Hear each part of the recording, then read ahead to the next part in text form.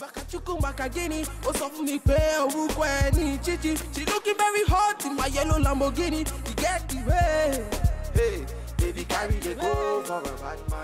Hey YouTube, welcome to my channel. My name is Tonya Archer and I do natural hair videos. I've done this like 20 times and I still cannot get comfortable with an intro. Like it's just, let me just give you guys a little bit of background information about my hair, where it's at right now and where I'm trying to get it. So for the past few months, um, I'd say around September time, my hair has been doing the absolute most it's been breaking, it's been shedding, it's been misbehaving, it hasn't been holding products, it's just, it's thinning, and it's just been looking kind of lifeless and see-through. Like I would do my fro and if there's light behind me, you can literally see through my fro to the light, which is super unusual for my hair because I have, well, I had really thick hair.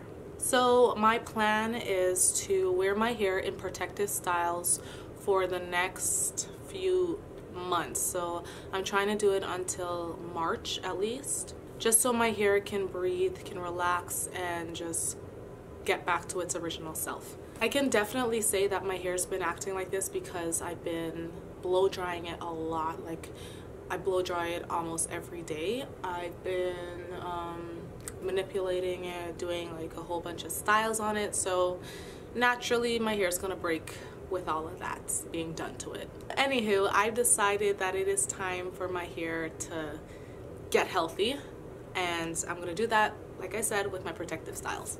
Okay, I think I'm done talking for now. Thank you guys for listening and here is how I achieve this protective hairstyle using Big Chop hair clip-ins. To start off, I soaked my clip-ins in some hot water just to loosen the texture so it's easier to work with.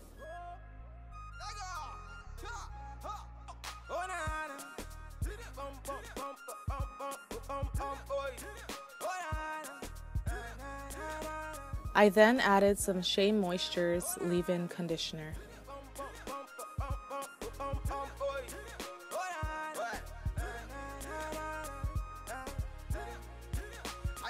My way? Cause I'm feeling your way. So pass up family, mama say it's okay. Hmm. Oh, them up me on. Baby, you know it's okay. Nah, nah.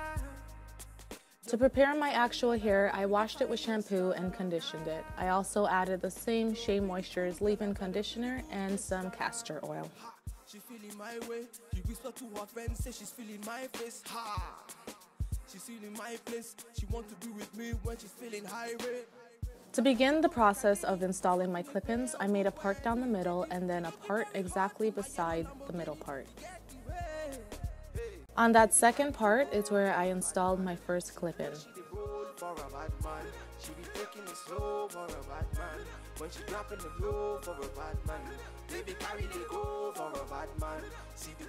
I then proceeded to do this all over my head, adding clip-ins where I think it was necessary to make a full head of hair. they want to ginger me today? Make you ginger me. All the ladies in the house they want to ginger me today. So I'm here for the girl then. Mr. DJ, play my song. Yeah, I'm chilling with the girl then. And we getting high all night long. Bulaka. She love the bad thing. She hold a bad man. She want the bad thing. I'm all up on her waist so when we dancing. She don't care about nobody when we grinding. Make you ginger me.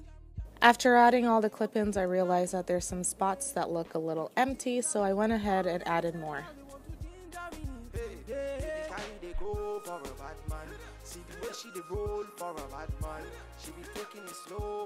Okay, now it's time to twist. To create my twist, I grabbed a piece of hair under the clip-in, then I grabbed the clip-in, and then another piece of hair on top of the clip-in.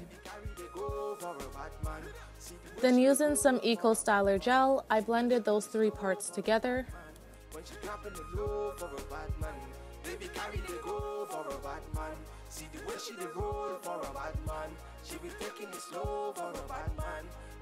Split the hair in two and then began to twist all the way down.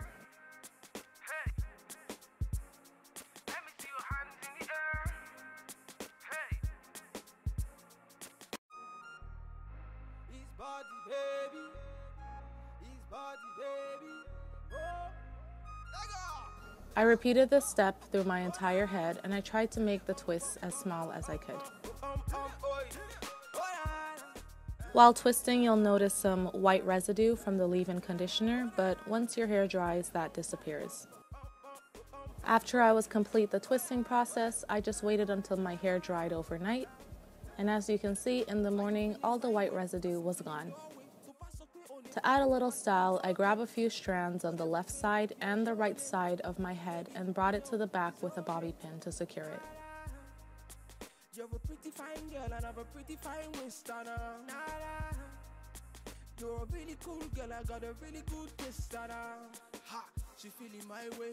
You whisper to her friends, say she's feeling my face. Ha.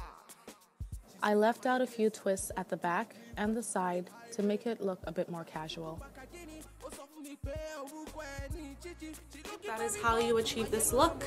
And once again, if you'd like to know more about Big Chop hair, just click the link in the description of my unboxing slash initial reaction and review, because I have a review video too. Thank you guys so much for watching once again, and I will see you in my next video. Toodles!